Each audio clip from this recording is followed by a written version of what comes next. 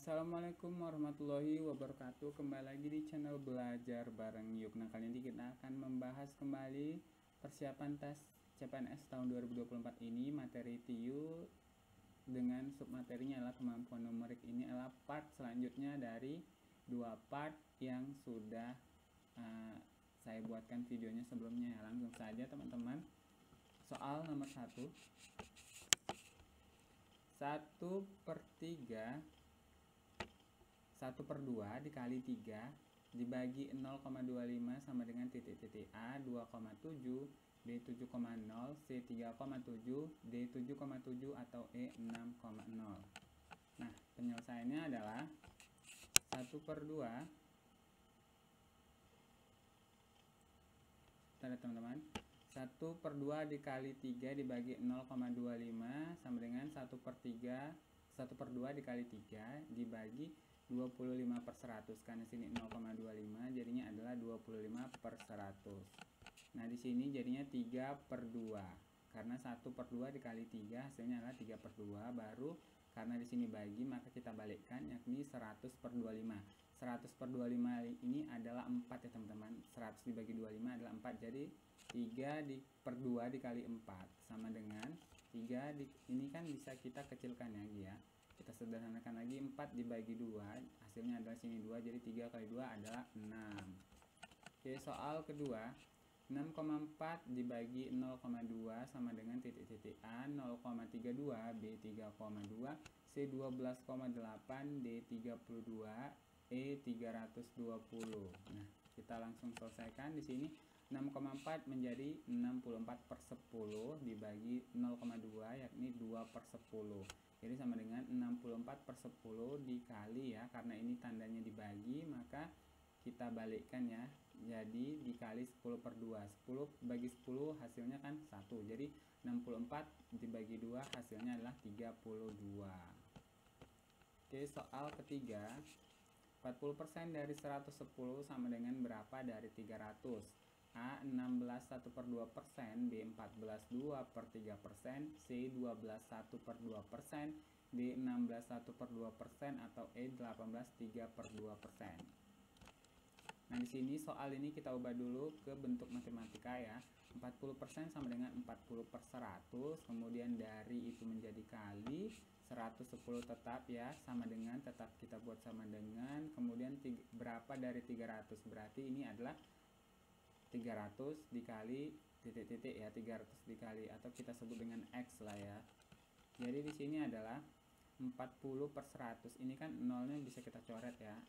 Coret satu coret satu jadi 4 per 10 dikali 110 kemudian di sini kan ada 0 lagi di sini. Terus kemudian di bawah tadi ada 01 jadi ini adalah 4 dikali 11 sama dengan 300x atau 300x sama dengan 44 jadi x sama dengan 44 per 300 kali 100 karena ini akan kita ubah ke persen ya.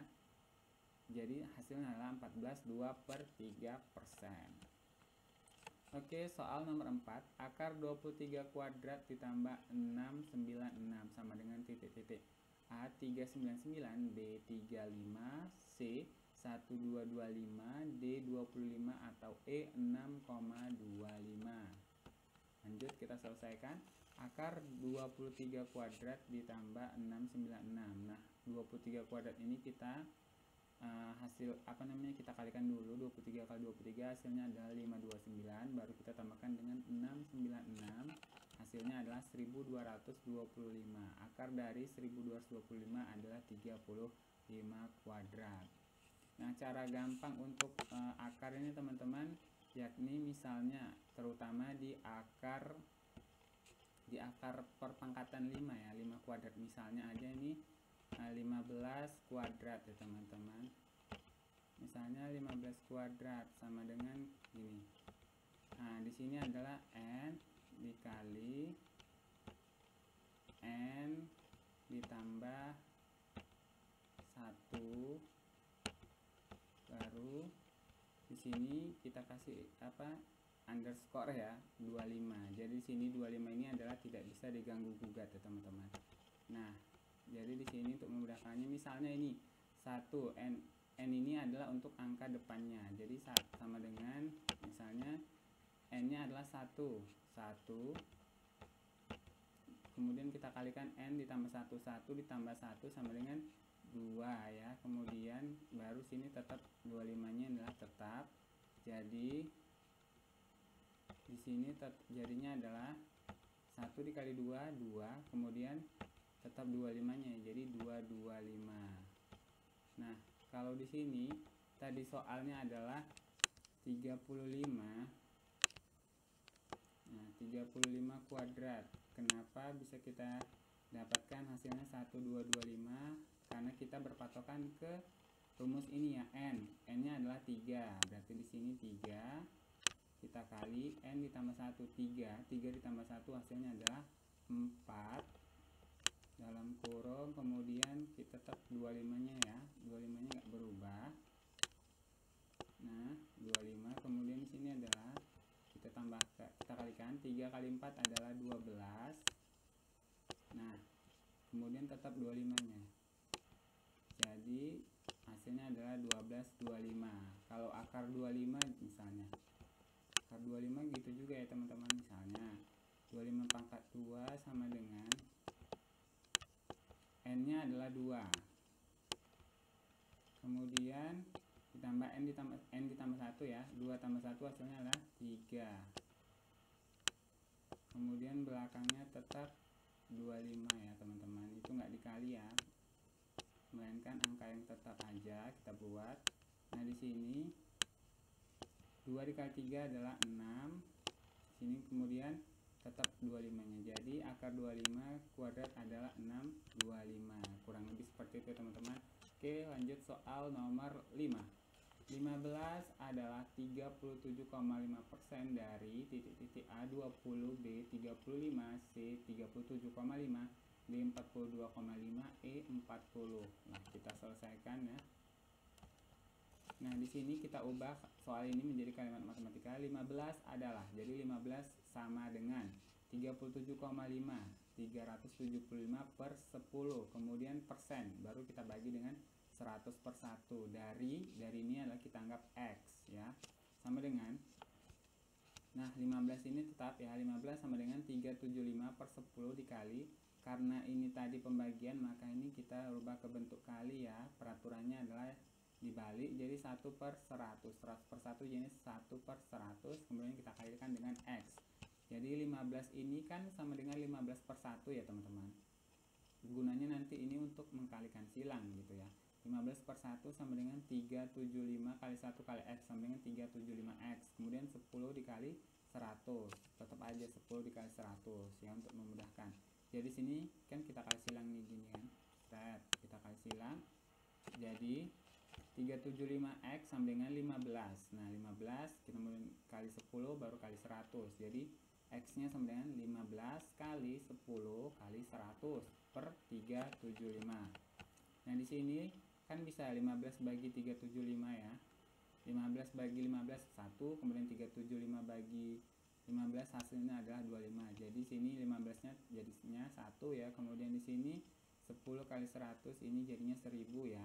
Kemudian di sini 375 jadinya adalah 25 setelah kita bagikan dengan 15 jadi 1 kali 1000 sama dengan 1000 kemudian kita bagi dengan 25 hasilnya adalah 40 soal terakhir ya teman-teman Berapakah 6 per 7 dari 87,5% A 6,5 B 7,5 C75 D 0,75 atau E125.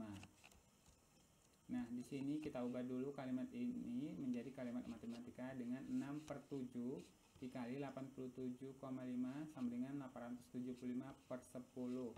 Baru sini kan ada persen, berarti kita bagikan dengan 100 ya, 100 per 1. Jadi di sini 6 per 7 dikali 875 per 10 baru kita kalikan dengan 1 per 100 nah di sini yang bisa kita coret-coret kita coret-coret ya. Misalnya sini 875 dibagi 7 hasilnya 125 sedangkan di sini 7 nya tinggal 1 kemudian di sini 10 nya tetap baru di sini kali 1 per 100 juga tetap ya. Nah di sini 6 kali 125 125 per 10 ini sama-sama kita bagi dengan 25 ya teman-teman. Bagi 25 hasilnya adalah 5 kemudian di sini 100 dibagi 25 adalah hasilnya 4 jadi 6 dikali 5 per 10 dikali 1 per 4 sama dengan ini. Karena 5 per 10 ini juga bisa kita coret juga ya. 1 per 2 jadi sama-sama dibagi 5 5 bagi 5 1 kemudian 10 bagi 5 2 jadi 6 dikali 1 per 2 dikali 1 per 4 jadi 6 per 8 6 per 8 itu juga kita sederhanakan lagi. Sama-sama kita bagi 2 ya. 6 bagi 2 3 8 bagi 2 4 jadi 3 per 4 jawabannya ya. 3 per 4 itu sama dengan 0,75 jadi sampai di sini teman-teman. Terima kasih sudah menonton video sederhana ini. Semoga bermanfaat. Wassalamualaikum warahmatullahi wabarakatuh